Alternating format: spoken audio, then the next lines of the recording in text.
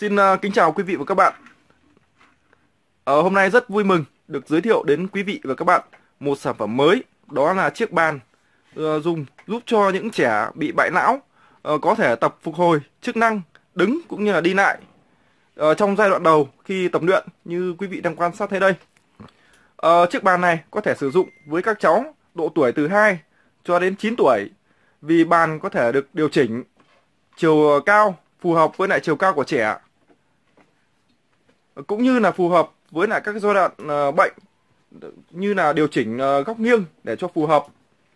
Và một điểm rất nổi trội đó là ờ, bàn có các cái vị trí giữ như là giữ ở đai chân giữ ở kheo hay là ở hông. Đây là các vị trí mà khi trẻ bị bại lão bị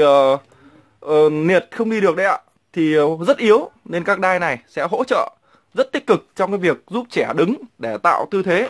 uh, thăng bằng và được kết hợp với một hệ thống là các cái ống uh, uh, kết cấu về về thép đây ạ để chúng ta có thể điều chỉnh uh, chiều cao qua các con ốc này cũng như là uh, độ nghiêng của bàn qua cái uh, piston này chúng ta hoàn toàn có thể điều chỉnh được chiều uh, nghiêng có thể là thẳng hoặc là nghiêng một cái góc tương đối khoảng 35 40 độ. Và đặc biệt là còn được chốt hãm bởi các cái bánh xe uh, giúp cho có thể cố định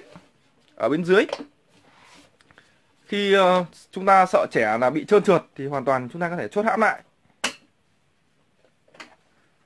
Và một chiếc bàn uh, tương đối rộng rãi và chắc chắn để cho trẻ có thể là uh, có những dụng cụ đồ chơi để trẻ tập luyện ở trên này hay là chúng trẻ sinh hoạt uh, tập ăn uống hay tất cả những cái mà chúng ta muốn. Đây là một dụng cụ uh, y khoa hữu ích